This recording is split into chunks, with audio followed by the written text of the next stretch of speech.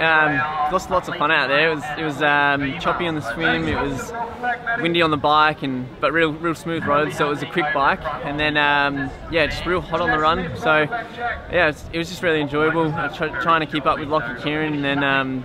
Getting chased down by Simon Hearn and Trent Thorpe and a few others. It was um, yeah, it was it was good fun. Yeah, without the PTO this year, we'd, we'd all be we'd all be pretty screwed. So we're, we're pretty thankful, and, and I've had a bit of support from Challenge family as well, and, and I'm always going to support their races and the PTO races and. I liked it. Uh, a few unexpected additions, very choppy out there this morning, and a fair bit of wind on the bike, but um, that made for a, for a more exciting race, a few extra gritty bits and pieces. So uh, the wind actually played to our advantage in the end on the bike.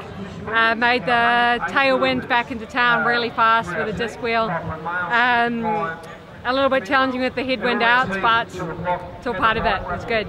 Yeah, I recovered really well after Cairns. Um, I guess almost I've had a bit of injury history, so part of me was expecting something's come up but uh, we took an easy week and then built back up really comfortably. So um, I've been doing a few little bits and pieces differently, um, which I think has really helped. Um, just those small details and recoveries. Yeah, I'm really excited for Daytona. It's um, it's an experience that's worth going. Going to go 100%. Um, we're going to make the effort. There's uh, there's no point in just going for the experience. Um, I think this this must have been my fifth uh, fifth race this season, um, including just a few local training races. But uh, I like racing. I think that you always get uh, just that few extra percentage out of yourself um, than a training session when you've got people just behind you, just in front of you.